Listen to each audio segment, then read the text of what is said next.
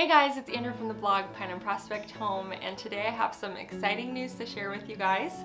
I'm sure most of you have already guessed what that news is based on the title of this video, but we are expecting baby number four this coming August. So uh, I know I've mentioned in previous videos that we would like to have another child and we feel very, very blessed that, uh, that the Lord has given us another one. And so at this point, I am uh, exactly 10 weeks pregnant. So I'm announcing much earlier with this pregnancy than I ever have before. Usually I wait until the end of that first trimester to let everyone know, but I'm finding that it's becoming more and more difficult to hide this pregnancy. I I know it sounds crazy, but I feel like I'm already showing at 10 weeks. Uh, so that's fun. and then also with my three boys, they're much older, they understand, and they like to tell people. And I forgot who it was, someone came up to my middle son, Gabriel, the other day. He's five, and the first words out of his mouth were, my mommy has baby in her belly. so yeah, uh, it's, it's getting hard to really keep it a secret anymore and I don't mind letting people know, telling people. Um, I'd appreciate your prayers for me. and uh, honestly, as far as how I'm feeling, I, uh, I feel pretty good. I, I will say I think this might be the easiest pregnancy so far, or I guess I should say the easiest first trimester um, that I've ever had compared to my three other pregnancies. And as you guys know, I have three boys. Um, so I'm not really sure what that means. I mean, I prayed really hard that God would be with me. I was very sick with my boys. Very sick, threw up a lot. I'm sorry to say that to you guys.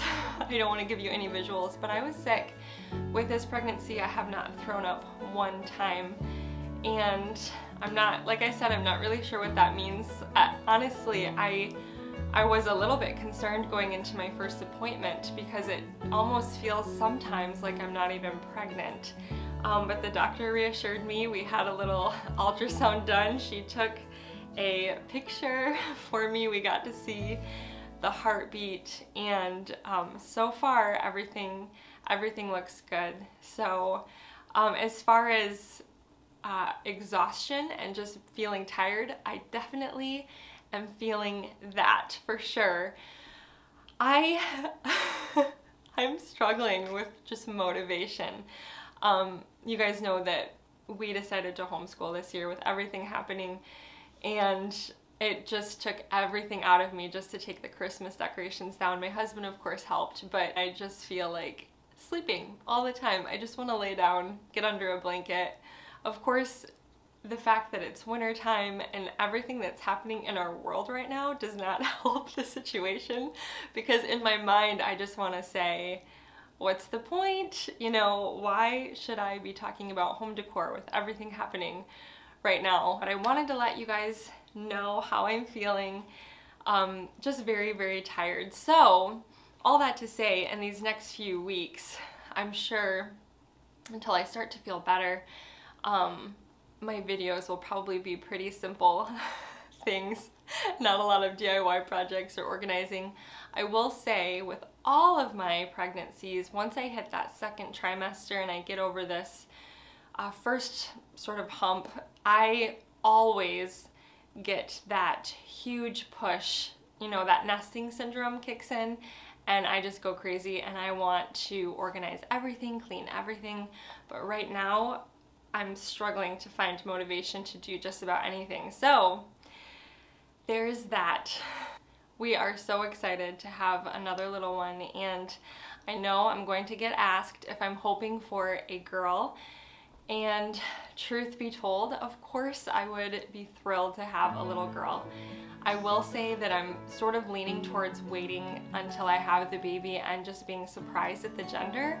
Some of my friends have done that and they say that it's just the best and sweetest surprise they've ever experienced in their life.